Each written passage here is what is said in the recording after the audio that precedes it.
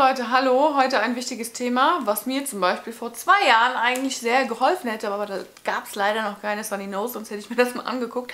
Naja, äh, auf jeden Fall geht es darum, äh, vegan Bodybuilding, ja, beziehungsweise fleischfreier Muskelaufbau. Geht das überhaupt? Ich habe ja zwei Jahre jetzt streng vegan gelebt, ja, also streng kann man es nicht nennen, war ja total freiwillig, hat sich automatisch so ergeben äh, und möchte euch erzählen, ja, wie sich das verhielt mit dem Muskelaufbau, mit dem Krafttraining, ob das überhaupt ging, meine Tipps und Tricks meine Ratschläge für euch und wovor ihr euch äh, bitte wappnen sollt und was ihr nicht tun sollt und äh, ob das überhaupt alles möglich ist und so.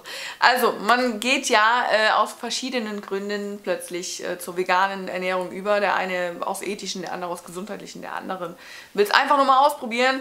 Ja, also bei mir war es wirklich äh, komplett äh, ein totales Experiment, einfach total offen dafür war ich aus, aus keinem bestimmten Grund, vor allem nicht gesundheitlich, weil ich äh, nie ein Problem mit tierischen Produkten hatte. Selbstverständlich habe ich ein Problem mit der Massentierhaltung und äh, ja, mit dem Ganzen, wie das gehandhabt wird heutzutage, das ist natürlich ganz furchtbar und grundsätzlich äh, rate ich natürlich jedem, der auch der tierische Produkte isst, die von einer guten Quelle zu äh, beziehen, sofern es heute noch möglich ist. Also vielleicht ein Bauernhof, wobei es da ja auch heutzutage abgeht wie naja, ich weiß es nicht. Naja, das ist ein anderes Thema, das muss jeder für sich entscheiden, warum er vegan lebt, äh, leben möchte oder das ausprobieren möchte. Äh, ich war halt damals äh, total auf der Low-Carb-Schiene und auch total beeinflusst von, den, von der Kohlenhydratpanik, die plötzlich vermittelt wurde. Äh, und habe dann irgendwann gedacht, ey, das kann doch nicht sein. Und hat viele tierische ne, Zeugs, das kann, ist auch irgendwann auch, ne, ja, habe ich mich schon richtig vorgeekelt, habe ich gedacht, das kann doch nicht gut sein. So, jetzt machst du mal einen kompletten anderen Weg, ja, machst komplett das Gegenteil, vegan. Und ich denke mir halt einfach immer, äh, ja, man muss die Sachen selber ausprobieren, damit man überhaupt sich ein Urteil bilden kann, ne? Äh, da ich ja auch äh, mich dem Bodybuilding immer mehr gewidmet habe und dem Krafttraining und Muskelaufbau intensiv äh, widmen wollte, äh, vor zwei Jahren ging das eigentlich richtig los bei mir erst. Ähm, habe ich mich natürlich auch dann rumgegoogelt, ja, geht das überhaupt ohne Fleisch, ne? Denkst du dir natürlich zuerst mal, ey, das kann doch nicht gehen, ja, die fressen doch alle jeden Tag ihr Hähnchen und, ne? Ja, ähm, gut, findest du immer irgendjemand, der sagt, nein, das ist scheiße, findest immer jemanden, der sagt, nur das ist der einzig wahre Weg, wie immer, Leute, ja. Im Endeffekt muss jeder selber für sich entscheiden, was für ihn, für sein Ziel, für, für sein Wohlbefinden und für seinen, ne, für, für, für seinen Kopf, äh, äh, der richtige, ähm, die richtige Ernährungsweise ist. Auf jeden Fall, ich wollte es ausprobieren, ich habe es ausprobiert und äh, habe die verschiedensten veganen äh, Ernährungsformen ausprobiert, also die verschiedensten Makronährstoffverteilungen. Ja? Also einmal wirklich äh, High Carb, Low Fat, ja, dann äh, High Carb, Higher Protein, Low Fat, dann ne, Low Carb Phase hatte ich auch dabei, äh, in der Wettkampfvorbereitung vor allem. Und äh, kann euch da jetzt wirklich äh, meine Erfahrung mal erzählen, äh, weil das wirklich sehr aufschlussreich und sehr signifikant, ja, teilweise die Unterschiede auch waren. Also Leute, wenn ihr euch also jetzt entscheidet, ey, ich mache jetzt vegan und fangt dann an, euch so ein bisschen durchzugoogeln, ja, wie jetzt überhaupt, ne, stoßt ihr wahrscheinlich, wie auch ich damals, auf die High Carb Low Fat vegane Schiene, ja, die ist da sehr verbreitet im Veganismus, ne, dass es alles sehr kohlenhydratlastig ist und man braucht gar nicht so viel Protein und äh, Fett überhaupt nicht und so. Man stößt da auf äh, Personen wie Freely und so weiter, ne, dieser 80-10-10 High Carb Low Fat vegane Lifestyle oder auch Starch Solution, habe ich alles ausprobiert, sogar Raw Till 4, wo du bis 4 Uhr nur Früchte isst, ja, aber richtig viel und wo ihr halt auch teilweise, habe ich ja schon mal ein Video drüber gemacht, Raw Till 4, hier, warum ich das nicht mehr tue, was ich davon halte. Alles in Bezug halt auch auf den Muskelaufbau und äh, auf den Kraftsport. Ja, äh, wo du halt wirklich teilweise auch, äh, da wo dir eingetrichtert wird, du musst den ganzen Tag äh, so viel äh, Pflanzen essen, wie nur geht. Ja, so viel Kohlenhydrate nicht reinstopfen, wie nur irgendwie möglich. Ne? Jo, ähm, gut, warum musst du das? Klar, weil wenn man mal überlegt, äh, wenn du kein, keine tierischen Produkte isst, musst du natürlich zum Beispiel jetzt echt tonnenweise Brokkoli essen, um da auf einen Proteingehalt irgendwie einen nennenswerten zu kommen. Natürlich musst du dich dann vollstopfen, ja, oder Reis oder was weiß ich, damit sich da mal was läppert, ja. Wohingegen der Allesfresser äh, sich da ins Steak ballert und dann hat er sein Protein, ne, und dann muss er sich nicht vollstopfen bis oben hin. Ja, das mag man alles betrachten, wie man möchte. wie gesagt, in meinem Video Rotte vor sage ich ja auch schon für Ausdauersportler ne, oder für so ja, für, Leistungsausdauersportler ist das vielleicht äh, eine Sache, aber äh, ich würde es nicht mehr tun, äh, Raw TV und High Carb Low Fat. Es war eine, eine, eine coole Erfahrung und ich bin lange darauf hängen geblieben, ja. Und vor allem diese Energie, die du plötzlich hast, im Gegensatz zur Low Carb Ernährung, ist natürlich krass und gefällt einem dann erstmal sehr gut. Ja, auch Muskeln konnte ich aufbauen damit, aber Leute, im Vergleich, ach so, ja, und dick wurde ich auch nicht dadurch, ne? Aber, so, im Vergleich, als ich dann begonnen habe, äh, mehr Protein einzuführen, äh, zeigten sich dann wirklich bei mir sofort, ja, also wirklich richtig schnell viel, viel bessere Ergebnisse im Muskelaufbau. Ähm, also das muss ich wirklich sagen, ne? weil wenn man in die vegane Schiene reinkommt, hört man wirklich von vielen Seiten, Protein ist eigentlich voll scheißegal, brauchst du gar nicht, so ungefähr, ne? Aber auch mit dem Fett wird das äh, sehr schnell so äh, kommuniziert, ne? dass du möglichst äh, niedrig dein Fett halten sollst und so. Und Fett ist gefährlich und überhaupt und verstopft und weiß ich nicht. Ja, Leute, äh, ich habe natürlich äh, ein bestimmtes Wissen, was Ernährung angeht und eine bestimmte Überzeugung und ich bin einfach äh, davon überzeugt, dass der Körper alle Nährstoffe braucht, ja, in einem gewissen Maß und je nachdem, wie du lebst, was du für ein Krankheitsbild hast, was du für ein Fitnesslevel hast, was du für ein Ziel hast, ein sportliches, ja, ähm, muss man da seine Makronährstoffe natürlich ein bisschen anpassen. Aber sofern du Krafttraining betreibst, brauchst du nun mal Protein, ja, mehr als derjenige, der nicht Krafttraining betreibt. Und deswegen ist auch im Veganismus wichtig, äh, ausreichend Protein zu sich zu führen, um Muskelaufbau äh, möglich zu machen, ja, oder Muskelerhalt, ja, allein. Aber auch das Fett ist wichtig, Leute. Und da habe ich dann auch immer mehr angefangen, wieder mein Fett zu erhöhen, weil ich einfach weiß, wie wichtig Fett ist. Ja? Und das kann einfach auf Dauer nicht sein, da unter 30 Gramm Fett zu liegen, als Frau vor allem. Also das geht gar nicht. ja. Und äh, äh, ja, Leute, so nachdem ich meinen Fettgehalt wieder schön hochgeschraubt habe und da wirklich äh, zwischen 50 bis 80 und teilweise sogar auch 100 Gramm liege, ja, ähm, geht es mir hervorragend, habe ich noch bessere Fortschritte in meinem Krafttraining machen können und bin insgesamt befriedigter, gesättigter, äh, energetischer, konzentrierter. Alles funktioniert wunderbar, ja. Also äh, ich rate euch, da wirklich ausbalanciert zu bleiben. Egal, ob ihr alles esst, ob ihr vegan lebt, vegetarisch, was auch immer.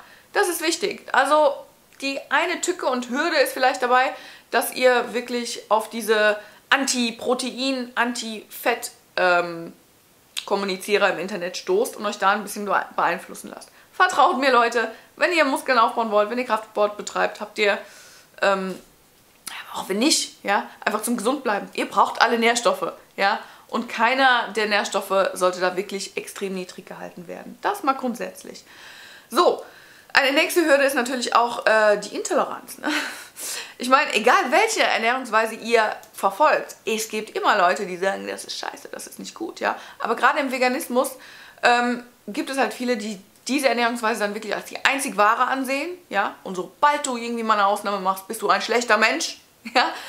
Und genauso gibt es aber natürlich äh, auch diejenigen, die sagen, Veganismus im Bodybuilding, what the fuck, Alter, was ist los mit dir? Geht gar nicht, ja? Machst du denn, ja? Pussy, äh, gibt nichts mit Gains, jetzt könnt ihr viel bessere Gains machen und so weiter. Also ich kann euch sagen, egal ob ihr alles esst, ob ihr Fleisch esst, ob ihr nur Milchprodukte esst, also egal ob vegetarisch oder vegan, ich kann euch sagen, äh, eine passende Makronährstoffverteilung für euren Kraftsport sollte sein, äh, ja, also eure bestimmte Menge an Kohlenhydrate, eure höheren, euren höheren Proteinbedarf, euren ganz normalen Fettbedarf solltet ihr decken, egal wie ihr euch ernährt, ja. Und das geht mit allen Ernährungsformen. Und somit werdet ihr auch Erfolge haben, egal ob mit oder ohne tierische Produkte. Ja, also das ist gar kein Thema. Was man natürlich dazu sagen muss, ist, dass im Veganismus auf jeden Fall eine bestimmte Supplementierung sein muss. B12 braucht ihr auf jeden Fall, wenn ihr kein Fleisch esst. Das ist nun mal Fakt.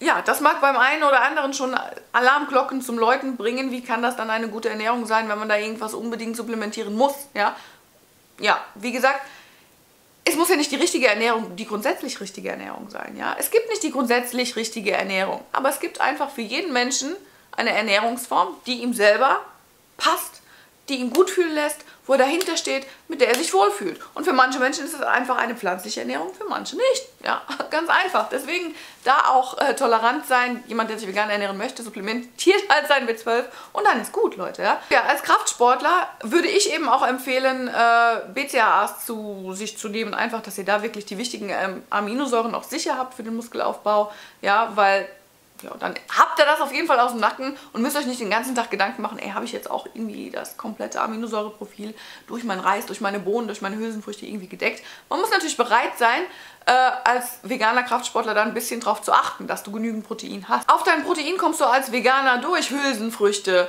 durch, äh, ja, durch Reis kommst du auch ein bisschen drauf, äh, durch Sojaprodukte. Klar gibt es Tempeh, Tofu, Seitan, Seitan empfehle ich nie gerne, Leute. Das ist reines Gluten. Ich weiß nicht, ich nehme skeptisch gegenüber. Ich mag das einfach auch nicht, ja.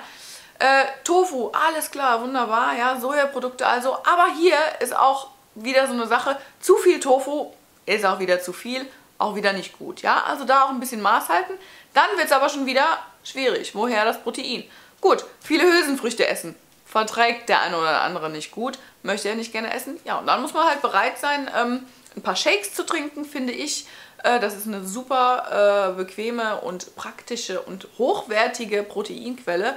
Ein veganer Shake, der auch nicht auf Sojabasis äh, hergestellt ist, sondern eben aus Reisprotein, aus Erbsenprotein und im besten Falle eben eine Kombination aus zwei Komponenten, ja, also Reis plus Erbse, Hanf plus Erbse, Hanf plus Reis, was auch immer, so habt ihr nämlich wirklich eine vollständige äh, Aminosäureversorgung so wie es auch im Whey-Protein der Fall ist. Aber natürlich könnt ihr auch ein reines Sojaprotein nehmen, das ist auch ein komplettes Aminosäureprofil, kein Problem. Ja, wenn ihr sonst nicht so viel Tofu esst, ist das auch kein Thema.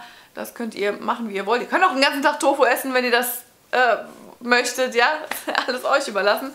Auf jeden Fall, man muss natürlich ein bisschen darauf achten, woher man sein Protein kriegt als Veganer. Ist nicht, also ein, ist nicht allzu einfach, als wenn man Fleisch essen würde, klar. Aber wenn man einen Grund hat und eine Motivation und äh, Freude daran hat, sich vegan zu ernähren, dann geht das, dann ist das gar kein Problem. War bei mir genauso. Ich habe das wirklich gerne gemacht. Ich habe mich sehr gerne vegan ernährt.